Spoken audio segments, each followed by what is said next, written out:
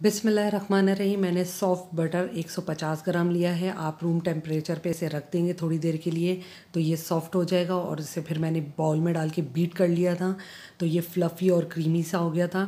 फिर मैंने इसमें पाउडर शुगर ऐड की थी, फिर मैंने इसे बीट किया था तो इसका जो टेक्स्चर है वो बहुत क्रीमी और फ्लफ़ी सा हो गया था।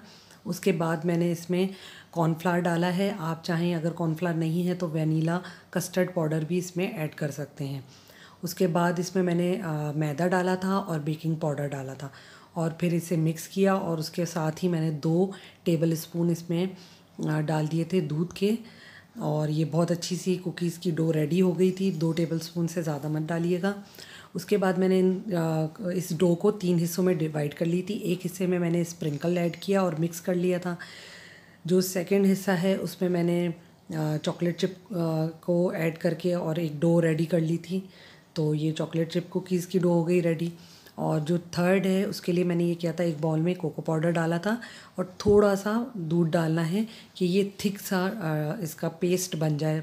थिन पेस्ट नहीं बनाना, पतला नहीं बनाना थिक सा पेस्ट बनाना है और इस पेस्ट को जो थर्ड कुकी डो है, उसमें शामिल करके अच्छी तरह मिक्स कर लेंगे तो ये चॉकलेट कुकीज़ की डो रेडी हो जाएगी.